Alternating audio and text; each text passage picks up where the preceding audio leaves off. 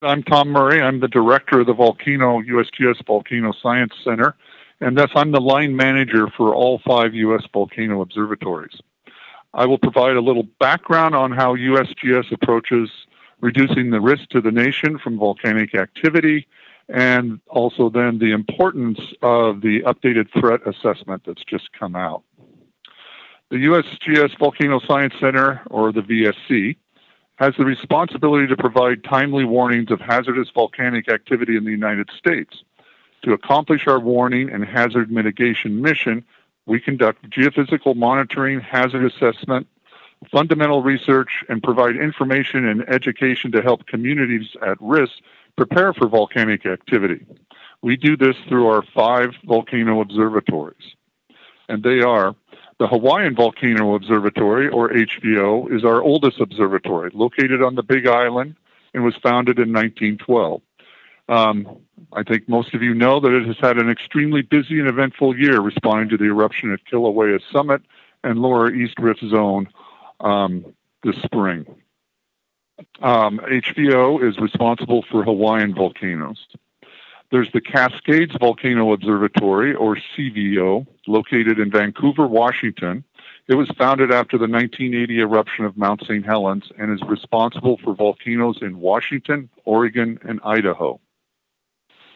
The USGS California Volcano Observatory, or CalVO, is located in Menlo Park, California, and was founded in 2012 and is responsible for volcanoes in California and Nevada.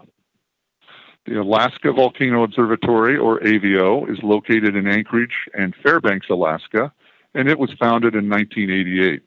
It is responsible for volcanoes in Alaska and also the Commonwealth of the Northern Mariana Islands. The um, volcanoes are located north of Saipan. And finally, there's the Yellowstone Volcano Observatory, or YVO, which was founded in 2001 it focuses on Yellowstone, but is also responsible for volcanoes in Colorado, Utah, New Mexico, and Arizona. Um, and as Leslie said, we have representatives online from each of the observatories here to answer questions about the updated threat assessment specific to their area of responsibility. I want to thank the authors of the updated threat assessment. It's an important document for us. Research over the past decade has increased substantially our understanding of many of our U.S. volcanoes, and in several cases, this is affecting the level of threat posed in the uh, as posed in the original 2005 report. Also, societal changes such as population and installed infrastructure have changed the threat at some of the volcanoes. This is important because the threat assessment is used by us to help guide and prioritize our risk mitigation efforts at U.S. volcanoes through volcano research, our hazard assessments, emergency planning and preparation with our partners, and monitoring efforts with federal, state, and local governments.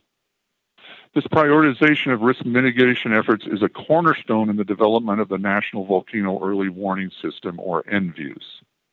Because of the breadth of volcanic activity across the U.S., ranging from the lava flows, such as seen recently in Hawaii, where a vent might open just down the street from your house, as it did last May, to the main threat being to aircraft flying at speeds of over 500 miles per hour, 30,000 feet above the volcano, such as this is the case in the Aleutians, we need a way to prioritize where our resources should be going by looking at the threat posed by the volcano rather than simply the hazard we have a way to judge the appropriateness of our efforts across all the U.S. volcanoes, whether it is to fill gaps in our monitoring or gaps in knowledge of the eruptive history of the volcano. Thus, the importance to our work of an updated national threat assessment. Uh, finally, the National Volcano Early Warning System, or NVEWS, is a USGS program under development since 2005 to create monitoring infrastructure at U.S. volcanoes at levels commensurate with the threats posed by the individual volcano, underlining the importance of this threat update, and systematically address reducing risk from volcanic activity. Under NVEWS, the USGS strives to establish common best practices and uniform systems for monitoring volcanoes and responding to eruptions, which in turn enables all the assets of the USGS to assist a single observatory in a response to a major eruption such as which occurred just this last spring in Hawaii. Thank you. Good afternoon. My name is John Ewert. I'm a volcanologist based at the USGS Cascades Volcano Observatory in Vancouver, Washington. And I'm here to give you uh, just some introductory remarks uh, about the update to the USGS National Volcanic Threat Assessment that was published this week. This report is an update to the first National Volcanic Threat Assessment the USGS published in 2005. I just want to note at the outset here that the threat rankings are not an indication of which U.S. volcano will erupt next.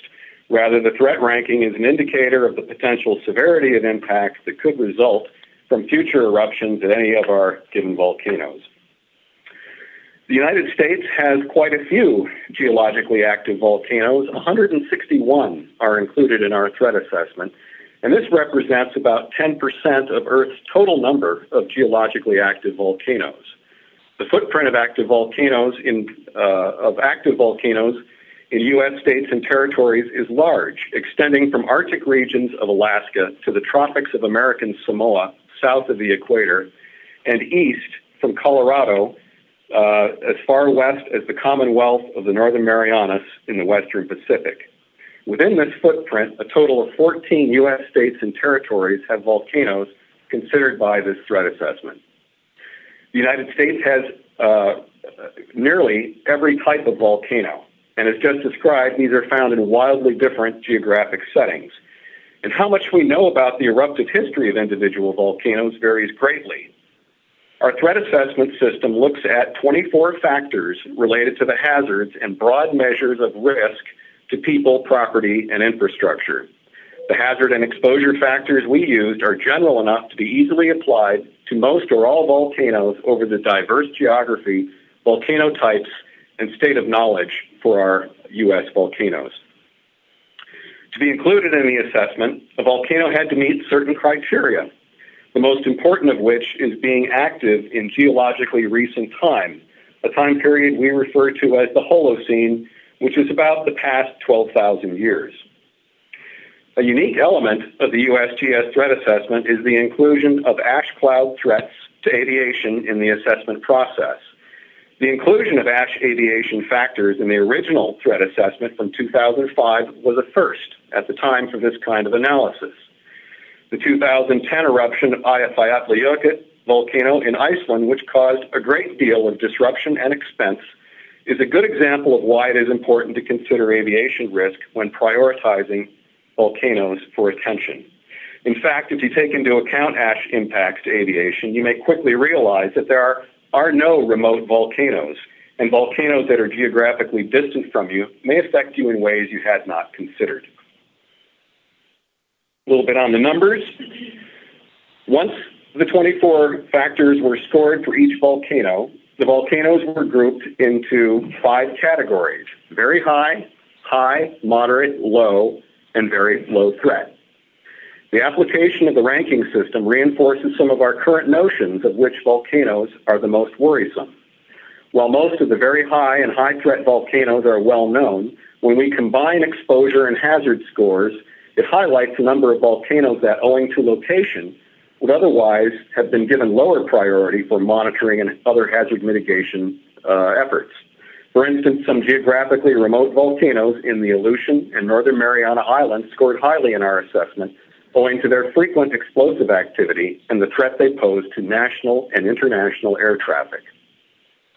So, the very high threat category, we have 18 volcanoes ranked as very high threat, and this group of 18 is unchanged from the original threat assessment in 2005.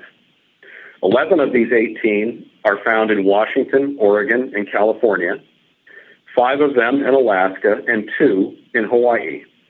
Now, as in 2005, Kilauea ranked as the U.S. volcano with the highest threat score. Kilauea is the most active U.S. volcano. It erupts mainly lava flows, but is also capable of ex- producing explosive eruptions, and there are highly developed and populated areas on its flanks. The eruptive activity in 2018 and the impacts we saw from that uh, to Hawaii are clear examples of why Kilauea is one of our very high threat volcanoes. Next, the high threat category, we have 39 volcanoes in this category. 30 of these are in Alaska. Notable changes in this category include the addition of Sutter Buttes, California, which did not appear in the original threat assessment, and Fourpeaked Volcano in Alaska, which was very poorly known prior to its first recorded eruptive activity in 2006. 49 volcanoes are ranked as moderate threat. Again, 30 of these are in Alaska. Notable changes to this category include the addition of Soda Lakes in Nevada and sub, a shallow submarine system called East Diamante volcano in the Commonwealth of the Northern Marianas, neither of which appeared in the first assessment. 34 volcanoes are ranked as low threat, the three volcanoes in American Samoa, Tana volcano in Alaska, and two submarine volcanoes in the Northern Marianas make their first appearance in the low threat category. And finally, 21 volcanoes are ranked as very low threat. Owing mainly to volcanoes being removed from this threat assessment on account of better knowledge about their eruptive histories, the very low threat category underwent the greatest changes. However, one volcano in New Mexico, Red Hill Quemado, and three submarine volcanoes in the Northern Marianas were added to this group. In summary, then, we assessed 161 volcanoes, eight less than in 2005, when we had 169 volcanoes listed. The net change in number reflects additions, subtractions, and naming changes to the list of volcanoes that result from unrest and eruption activity and ongoing research by the USGS and by our academic colleagues into the eruptive histories of U.S. volcanoes. And finally, uh, the U.S. Uh, National Volcanic Threat Assessment is used by the USGS to help guide and prioritize risk mitigation efforts at U.S. volcanoes through volcano research hazard assessment, developing of monitoring infrastructure, and emergency planning and preparation with our federal, state, and local government partners. Personally, I don't pay a whole lot of attention to the whether it's number one or number three. The important thing for us is that it's it's in that very high threat category. Um, when we when we add up the the scores in all the different factors, you know, different things come into play. Um, number of people, how frequently the volcano erupts, um, what the air traffic, uh, airspace is like. So um, it, it's, uh, it's a number of different uh, factors. Again, there's 24 different things we look at, 15 hazard factors and nine exposure or broad risk factors. And um, they you know, kind of the chips fall where they may. Um, Kilauea gets consistently high marks because it's the most active volcano we have in the U.S., and it's got a lot of development right on its flanks. Um, in the Pacific Northwest, of course, um, we don't have um, much in the way of development right on the flanks, but our volcanoes that are both explosive and covered with a lot of uh, snow and ice can project those hazards pretty far downstream as uh, debris flow from hard hazards and downwind as uh, as ashfall uh, hazards. So um, I would I would encourage you and others to to look not at the, the sort of the one through n ranking, but just look at the the broader categories and know that um, you know, a, a, a, small change in a single factor can can result in a little bit of jockeying in position. And our next question comes from Seth Borenstein from the Associated Press. Your line is now open. Yes, thank you. To follow up on an earlier question about the Mount Shasta numbers, is there, if you look at just the population hazard in the, the hazard zone for each each of the big 18, which has the highest population in the hazard zone. And I guess an or a second way of looking at it, if you could possibly do both of these, not only which volcano has the highest population in the hazard zone, but what is the biggest city in the United States or metro area, or whatever you prefer, that is in a volcano uh, in a very high hazard zone.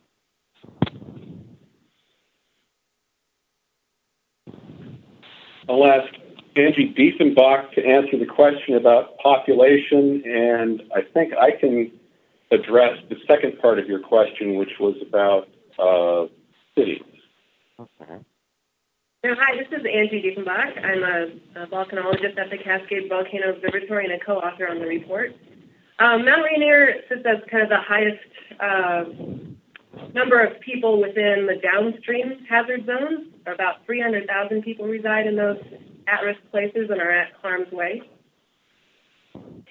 Perfect. Thank you. Yeah, and on, on the second part, um, you know, Angie said that um, the, the downstream hazard zones, that's certainly the, the biggest population, but I think it's important to realize, particularly for the Cascade volcanoes, which can produce far traveled lahars, is that they can have an impact on an urban area without actually touching the urban area. And that's by uh, having a negative impact on power generation and transmission, on transportation routes, on uh, you know goods and services in and out of a of a city. So um, it's you know we don't we don't have uh, any of our U.S. cities actually sitting um, with well with the possible exception of Hilo uh, on the Big Island. Um, we don't really have uh, major cities that are that are quite close to our U.S. volcanoes. Except for Hilo. Yeah, um, it, Jim, do you want to chime in on on uh, Hawaii? Uh, sure. Uh, well, I can't speak about whether Hilo is the biggest city on a volcano, but Hilo definitely is located on the flanks of Mauna volcano, and it's been threatened probably a dozen times in the last uh, 1,500 years.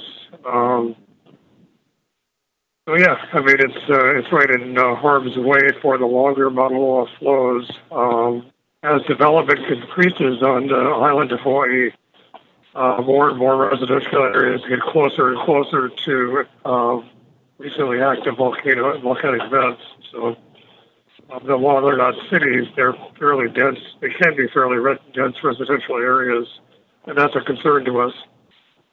And, and which volcano is Hilo near? I'm sorry. Mauna Loa. Okay. Thank you. Yeah.